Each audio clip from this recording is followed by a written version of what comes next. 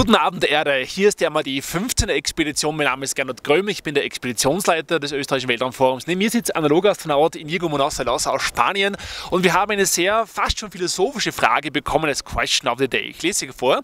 Auf dem Mars ist die Farbe Rot-Orange vorherrschend. Werden Astronauten dort nach einer bestimmten Zeit Sehnsucht nach anderen Farben haben oder gibt man den Astronauten Bilder, Gegenstände etc. gegen Heimweh mit? Naja, also im Prinzip, erstens mal, der Mars ist nicht nur orange und rötlich, sondern es gibt auch andere Farbschattierungen, die das Auge wahrnehmen kann. Und natürlich schaut man nicht nur die ganze Zeit die Landschaft an, sondern hat auch mit Computerdisplays zu tun, mit anderen, ähm, mit anderen Farben noch dazu. Und ich denke aber trotzdem, dass etwas selbst angebautes wie ein grüner äh, keine, äh, Salatsprossen oder sowas sehr wohl etwas Besonderes sein wird. Und zwar nicht nur wegen der Farbe, sondern einfach mit dem Ding, was man mit tun kann, nämlich essen. Also ich glaube, dass das Problem nicht sehr groß werden wird, aber aber ich denke, dass ähm, das Rot doch die dominante Farbe des Alltags sein wird, in der man wahrscheinlich auch träumen wird dann. Okay, Inigo, uh, let's answer this in, in English and uh, I think you give the English translation first. Yes, of course.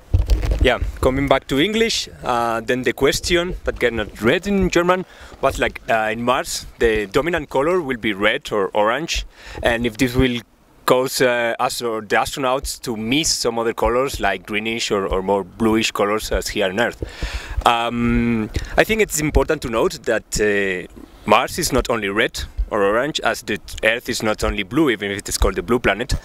Um, and therefore we will have uh, different features as well to see and, and different landscapes features and, and, colors.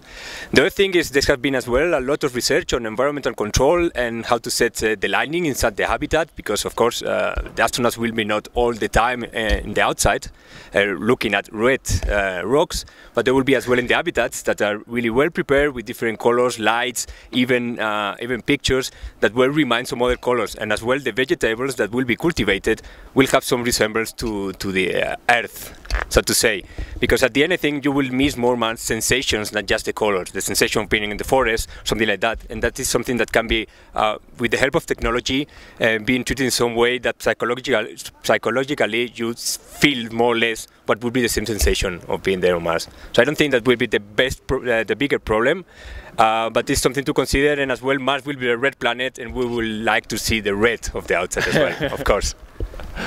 Okay, Inigo, I think that really hit the question of the day. We should do uh, the closeout of the day, an astronaut fist pump. Give me five. Yeah!